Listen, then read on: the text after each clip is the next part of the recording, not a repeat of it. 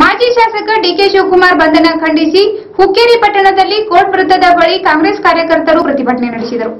ಕಾಂಗ್ರೆಸ್ ನಾಯಕ, ಮಾಜಿ ಸಚಿವ ಡಿಕೆಸಿ ಬಂಧನ ಖಂಡಿಸಿ ಹುಕ್ಕೇರಿ ಪಟ್ಟಣದಲ್ಲಿ ಕಾಂಗ್ರೆಸ್ ಕಾರ್ಯಕರ್ತರು ಪ್ರತಿಭಟನೆ ನಡೆಸಿ ಕೇಂದ್ರ ಸರ್ಕಾರದ ವಿರುದ್ಧ ಆಕ್ರೋಶ ವ್ಯಕ್ತಪಡಿಸಿದ್ದಾರೆ. ಇಡಿ ಇಲಾಖೆಯಿಂದ ಡಿಕೆಸಿ ಬಂಧನ ಖಂಡಿಸಿ ಹುಕ್ಕೇರಿಯ ಕೋರ್ಟ್ ವೃತ್ತದಲ್ಲಿ ಪ್ರತಿಭಟನೆ ನಡೆಸಿದ ಕಾಂಗ್ರೆಸ್ ಕಾರ್ಯಕರ್ತರು, ಬಿಜೆಪಿ ಸೇಡಿನ ರಾಜಕಾರಣ ಮಾಡುತ್ತಿದೆ ಎಂದು ಆಕ್ರೋಶ ವ್ಯಕ್ತಪಡಿಸಿ ಮೋದಿ ಹಾಗೂ ಕೇಂದ್ರ ಸರ್ಕಾರದ ವಿರುದ್ಧ ಘೋಷಣೆ ಕೂಗಿದರು. ಬಿಜೆಪಿ ದ್ವೇಷದ ರಾಜಕಾರಣ ನಿಲ್ಲಿಸದಿದ್ದರೆ ದೇಶಾದ್ಯಂತ ಉಗ್ರ ಹೋರಾಟದ ಎಚ್ಚರಿಕೆ ನೀಡಿದ್ದಾರೆ ಕೈ ಕಾರ್ಯಕರ್ತರು. ಈ ಸಂದರ್ಭದಲ್ಲಿ ಕಾಂಗ್ರೆಸ್ ಮುಖಂಡ ದಿಲೀಪ್ ಹೊಸ್ಮನಿ ಎಕೆ ಪಾಟೀಲ್ ಮಾತನಾಡಿದರು.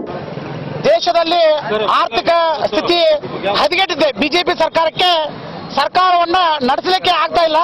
ಆದ ಕಾರಣ ಜನರ ದಿಕ್ಕನ್ನು ತಪ್ಪಿಸುವ ಉದ್ದೇಶದಿಂದ ಇವತ್ತು ಒಂದು ಟ್ರಬಲ್ ಶೂಟರ್ ಆದ Congress trouble shooter D K Shivakumar ಅವ್ರನ್ನ ಅರೆಸ್ಟ್ ಮಾಡೋದು. ಅದರ ಜೊತೆಗೆ ಕಾಂಗ್ರೆಸ್ಸಿನ ದ್ವೇಷ ರಾಜಕಾರಣಿಯನ್ನ ಮಾಡುವಂತ ಕೆಲಸ ಬಿಜೆಪಿ ಸರ್ಕಾರ ಕೇಂದ್ರದಲ್ಲಿರುವಂತಹ ನರೇಂದ್ರ ಮೋದಿ ಹಾಗೂ ಅಮಿತ್ ಶಾ ಅವರು ಈ ಶೇಡಿನ ರಾಜಕಾರಣಿಯನ್ನ ಮಾಡ್ತಾ ಇದ್ದಾರೆ.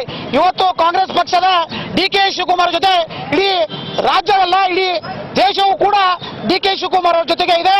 ಈ ತರ ಬೆದರಿಕೆ ಹಾಗೂ ಈ ತರ ಆದಂತಹ ಬಂಧನವನ್ನ ಹೆದರಿಕೆಯನ್ನು ಹಾಕುವಂತ ಕೆಲಸ ಬಿಜೆಪಿ ಸರ್ಕಾರ ಮಾಡಿದ್ರೆ ಮುಂದಿನ ದಿನಮಾನಗಳಲ್ಲಿ ಕೂಡ ಅವರು ಯಾವ ರೀತಿಯಾಗಿ ಪ್ರತಿಫಲವನ್ನು ಜನರಿಗೆ ಕೊಟ್ಟಿರ್ತಾರೆ ಅದೇ ರೀತಿಯಾಗಿ ಅದೇ ಅವರಿಗೂ ಕೂಡ ಜನ ಅವರಿಗೆ ಪ್ರತಿಫಲವನ್ನ ಕೊಡುವಂತ ಕೆಲಸ ಆಗ್ತದೆ.